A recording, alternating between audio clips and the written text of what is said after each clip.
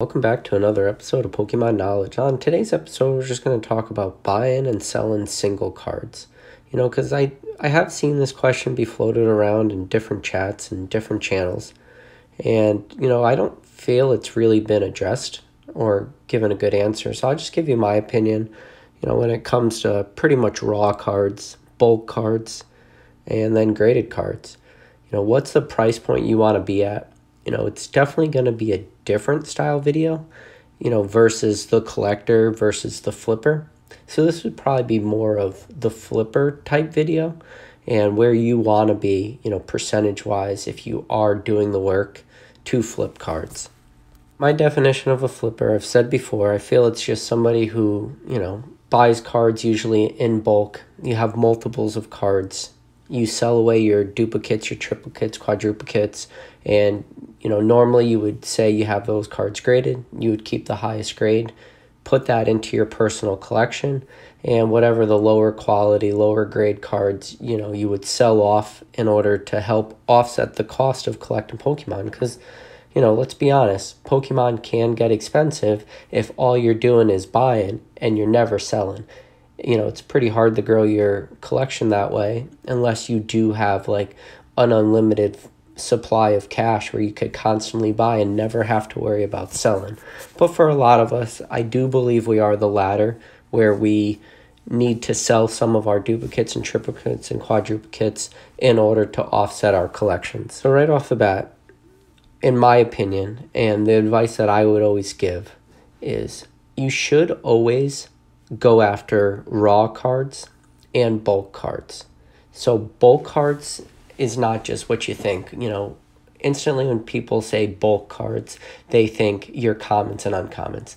That's not what I really mean. What I mean when I talk about bulk is buying collections, buying binder sets, you know, going on eBay, looking for poorly titled Pokemon lots that do have a lot of good cards in it, cards that you might personally be looking for. You know, so when it comes to buying or searching for bulk lots on eBay. I'll never put in like individual card names. I'll never put in numbers of cards. I'll just search. So let's just say, for an example, very recently, the sets that I've been acquiring a lot of cards for is Skyridge. So I'll just type in Skyridge lot and I'll see what comes up. And then when you get your results back, you're going to weed through all the you know, well titled auctions, you should say, and try to weed out like the poorly titled. And you could do multiple different strategies. You could write in Pokemon lot, Pokemon cards, just Pokemon, and you know, and you just a lot of times I'll just you know, it, it is tough to search through a ton of auctions. So what I'll do is, you know, change my filter to just items ending soonest. And I'll search through and I'll do that like a few times a week, sometimes a few times a day. It's more or less when I'm just bored sitting on the couch. I'll try to find a good deal. When I do find something that is, you know, does pique my interest or something that I do want to acquire for my collection, I'll just add it to my watch list. And that's the, you know, another important thing. You got to have patience. It's so easy to go out and just click buy it now and everything. But when you do that, you're going to be paying, you know, whatever the market price is for that card. So if you want to start acquiring cards, especially raw cards, and you know, we could talk we'll talk about modern too, but for right now, I guess I'm more or less just talking vintage. But you know, for vintage cards, you got to just be patient. You have to wait for good deals to come up. Good deals don't happen every day. You know, sometimes they're only a few a week. But just be patient and, you know, that's the best advice I could give while searching for cards. When it comes to raw cards, now, you know, raw cards are always very varying in condition. If you're buying huge lots, you got to be mindful. You're not going to get high grades. That's why pictures are so important. If a seller offers you the ability and you catch some of these auctions early enough, you could privately message them, say, hey, can I have some more photos of certain cards? You know, ask for definitely always the backs of the cards and the obvious, you know, things you're looking for for grading. You're looking for the corners, you're looking for the edges. It's hard to look at surfaces. That's why you have to ask them in photos to take photos of the cards at different angles, and then centering is the easiest thing you can do with a photo because it is what it is. You could instantly, you know, see that. So that's important to ask too anytime you're trying to go pick up raw cards. And when I say raw cards and I talk about grading and you, you know, looking at the condition of cards, it goes back to points that I've made previous. You have to be familiar with the grading standards. And the best way you will ever get familiar with grading standards is to send away a lot of cards personally. Because when you send away cards yourself, you get to see the cards before they get sent out. You understand the condition, you can make a lot of mental notes. And when the cards do get back from grading, you will become, you know, way better at like understanding conditions, especially when it comes to the difference between like an 8 and a 9 or a 9 versus a 10 or an 8.5 versus an 8 or an 8.5 versus a 9 or depending on what you know gradings you use you can go with 9.5 versus a 10 and when it comes to 9.5s like that's where subgrades really come into handy and you, can only learn so much about grading cards from photos you need to start physically dealing with the cards and uh, again you got to start sending cards away for grading, even if it's a few. And people always say, well, what's the percentage that you try to make on raw cards? And, you know, that's a very good question. The problem is, is there's no really good answer. It's really dependent person to person. I'll tell you for graded cards, when you do the work, that means you're buying raw cards. You're picking out the individual cards that you believe are worth grading. You send them away for grading. you pay the grading cost. You get those cards back. You, you know, figure out what the best grade of that card is you're going to put in your collection. Then you have to now do the work to sell that card. At a minimum, and this is the very low end of the spectrum, you should be making at least 100% on that card. And that's all in. That's for the original cost of the card, for the cost to have that card graded, and then whatever your fees are, whatever, you know, whether you use eBay or whatever auction site you use, that final price needs to be all in your profit 100%. All cards can start to get a little tricky because when you're buying raw cards, the turnaround time to flip those raw cards gets cut, you know, so drastically opposed to grading them. So, like a tactic I have used in the past, which looking back on it, hindsight always being 2020, has never it didn't age well as a tactic. But what I have done in the past, and I've told you guys on other videos, I personally am a Raichu fan. I've never really been emotionally invested in Charizards, so I've always looked for, you know, well, binder sets always have Charizards, but big lots, I always look for lots with a couple like heavy hitter cards in it that are obviously in poor condition because when you have a poor condition card, sometimes having that card graded is actually detrimental to the value that that card is going to produce in the long term. So what I'll do is I'll find like lots that have Charizards. And then as soon as I got that lot, I would cannibalize it real quick, flip the heavy hitter cards individual, raw, still, you know, selling them raw. But the price that I would get for those cards would more or less, keep, you know, make everything that I decided to keep free.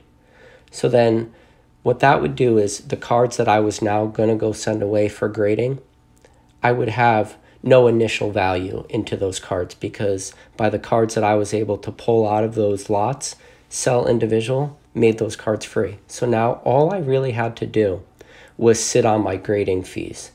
And, you know, that's something that's way easier to stomach. Sure, that doesn't work 100%. You know, it's not a perfect world. Sometimes, you, know, you won't find sets or lots exactly like that.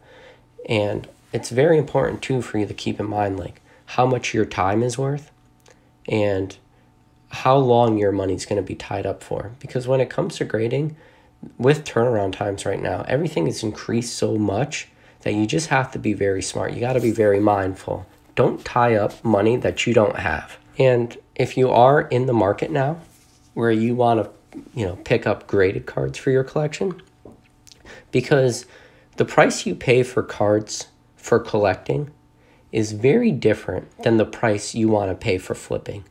Because if you're going to be a collector, especially going into the graded card market and starting to acquire graded cards for your collection that you're not personally grading, because, you know, let's just be honest. A lot of people, their graded card collection, you do want the higher grades. And you want like the 9.5s or you want the 10s, depending on you know the sets maybe you're looking at nines but you want the higher grades so the only way you're going to be able to pick up those grades is pay a higher dollar amount because when you have your cards graded what you're more or less doing is locking in that condition of the card meaning the condition of the card will never get any better than what it's at so if it's a 9 there's nothing you can do. Yeah, we're not going to get into cracking slabs and resubmit it, but you know what I mean. If that card's a nine, it's always going to be a nine. So whatever the realized value, you know, the max realized value of that card at a nine, is what that price is going to always be at, you know, depending on the market. It's going to be very easy to put a value to that card.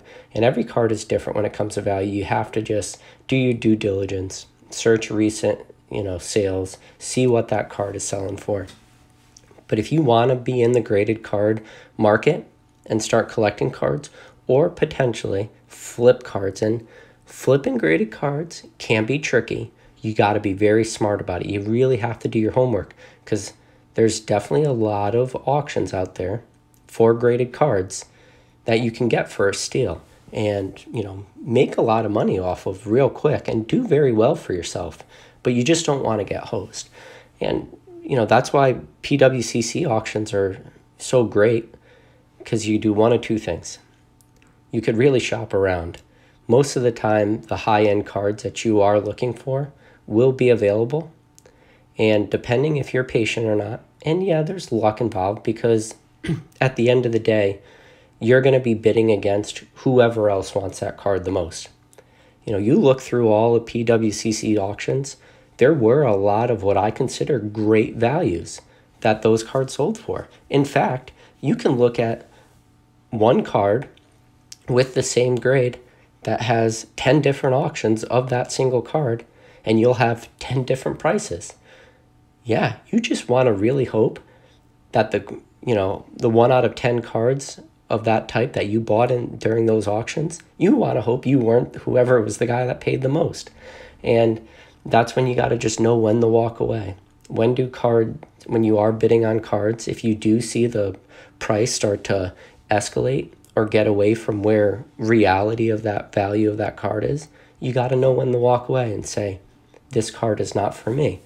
And that's just as valuable, just as important of anything you can do in this hobby is knowing when to walk away. But with that said, if you have the patience patience and you wait for whatever graded card you do want to come up for auction, you can sit back and probably get that card for the lowest possible cost you're going to pay for a graded card. Because buy it now auctions and cards that sit on the market for a long time, yeah, those cards will always be priced at whatever the high end of the spectrum is. Nobody throws their cards out there at the super lowest they're just going to get eaten up right away. So auction's are going to be your best bet to get the graded card that you want for the cheapest possible amount. And the only way that you're going to do that, again, be patient, wait for those cards to hit the market. And you also have to be, you know, vigilant. Do your due diligence. You know, be ready for those cards when they do come up. You know, to just go over the video real quick. Real, you know, real rough breakdown if you are buying raw cards and you do plan to send them away for grade and you do plan on reselling those cards when they get back, the number that I want to give you, all in cost, and that's again everything cost of the cards, cost of grading, cost of all your fees to sell that card, including shipping. You need to be making at least 100% on that card. And again, that's the low end. There are a lot of cards out there that if you are smart some of them, if you're first to market, You can make returns that are just, you know, astronomical, way over 100%. So just keep that in the back of your mind. But also don't lose money grading cards. Be familiar with the market before you send them away. Be familiar with the grading scales because if you send away a card expecting a 9 and you get a 7, you know, the price difference there is huge. So you got to know condition of cards before you actually like spend the money to pick up the raw cards because you don't want to break trust me you don't want to go through the process of buying raw cards buying raw card lots going through the grading process and losing money. That would be the worst possible thing that could happen to you. And i've said it before it's very important. People always say what should i invest in? Should i invest in raw cards or should i invest in sealed product? And my answer every time is always both because I do believe that you should have a little bit of each. You know, I think sealed product is one one path to go and individuals is another path, but you can't have one without the other. You got to do them both at the same time, and especially if you want to grow in this hobby and get a lot of that experience with different cards, you got to go the single route. So that's what this video is. The way I was able to personally do it is I had a little goal is that I want to have a complete graded base set. And I do have one 102 cards, and it took a while. I'm constantly having cards come in and out. I had to make a decision. Did I want to go graded? Or, sorry, not graded. Did I want to go unlimited? Did I want to go shadowless? Or did I want to go first edition? And I just realized, hey, I'm going to do a little bit of everything. So I would say for the most part, my graded collection is shadowless. It has a few first edition cards and a very, very small amount of unlimited cards. And eventually, it will probably all get weeded out, maybe to all first editions or a combination of all first edition shadowless cards. But by sending away so many cards, and it took a long time, and my graded base set collection is not all PSA it's not all CGC and it's not all Beckett. It's a combination of a lot of different companies. And the best way to learn how, you know, like the grades of cards was to send away tons of cards and have tons of cards sent back to you. And that takes a lot of time. It's not an overnight thing. Uh, you know, I wish I could say that it that it is. And you're going to learn very quickly buying raw cards on eBay that photos don't show everything. You got to get yourself a good jeweler's light or a ring light or something like that that has a real powerful like LED light, just like the one that I've showed you guys in other videos before, because that's really going to show condition of cards. And just be smart anytime you buy raw cards. Just don't overpay because you you don't want to get burned on anything. That's why patience is such a virtue in this if you are going to go that raw route and you're going to go the auction route, don't let like however many bids or however many bidders are on auctions blind you to the actual condition of cards. I've seen some auctions go before where you had like 20 different bidders and the cards were not worth what they were doing. But what happens is is you get a lot of like sometimes auctions just run away from people. You see a lot of action in it, you see a lot of different bidders, and you know, you might think in your head, like, when you look at that auction, what am I missing? Like, what am I not seeing here? What cards here are super valuable that people are bidding on? And something very important you got to re- realize is sometimes there are no good cards in that auction. There is no reason that it should be that much money. So please don't get caught, you know, bidding up an auction for no reason other than you think other people want it. Like I, I've seen it happen and I feel like maybe I have done that in the past, but so long ago that, you know, at least learn my lesson and never do it again. And, you know, I always try to explain to you guys like the lessons I have learned in the past before. So just keep that in the back of your mind. And when you do grade cards, you got to remember two things rarity and scarcity. They're not the same thing. Rarity is different than scarcity. That's why pop report is very important because Pop Report is going to show you exactly how many of those cards exist. Yeah, you're probably just going to use PSA, so you're not going to really know the populations for, say, however many of those cards exist for CGC or Beckett or SGC or anything like that. But rarity and scarcity is, you know, very easy to determine in that situation because if you have a card that has a very low population report, even if there is, you know, not tons of rarity to that card, meaning it's a very popular card, in the short term, you can capitalize on the scarcity of that card because there's a lot of people out there who sometimes just want a certain card that's graded. And if you have the only one of that card available on the market, you know, you have a pretty good chance of somebody coming up and scooping up that, that card. And when you have the only one of something on the market, and because it's scarce when it comes to the graded population of that card, throw rarity out the window, you can be very successful. I wouldn't say that it's a great long term tactic, but I've said to you guys before being the first to market on stuff can be very beneficial, but just be smart. You know, don't make poor decisions when doing this. Like, understand and whatever you do in this hobby, don't ever like exert yourself to the point where you've you're stretched out too thin either.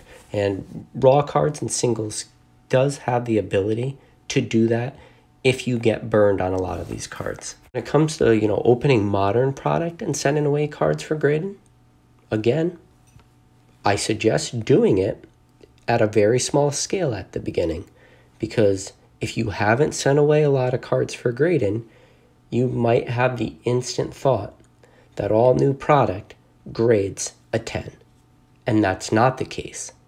But the only way you're really going to start to learn that and understand that is if you send away some cards for grading. And, you know, I keep saying that. Like, the second you send away your first batch of pack fresh cards and a crap load of them come back nines, some of them eights, you know, rarely, yeah, you'll get some sevens, and then, yeah, you get your tens and stuff. But once you start to realize, like, oh, not every card is a 10, that that's so valuable. You know, talk about just like crazy knowledge, crazy value for you as a collector. Once you realize that, you know, but the only way you're really going to start to understand that not every card's a 10 is by sending away a lot of cards. And I know I sound like a broken record, I get it. But I'm just trying to express that point to you is you need to start sending away cards. You need to start getting familiar with the process, especially if you want to be in this hobby for the long term and you do decide to get into, you know, flipping singles. So that's very important. But that's pretty much it for this video. If you guys have any more questions, you know, talking about raw cards, you know, how to handle them, how to find auctions, you know, what percentage you want to make, stuff like that. Let me know down in the comments. I'll try to answer them the best I can. But other than that, if you guys are new to this channel, hit that subscribe button, hit that like button, and I'll catch you on the next video.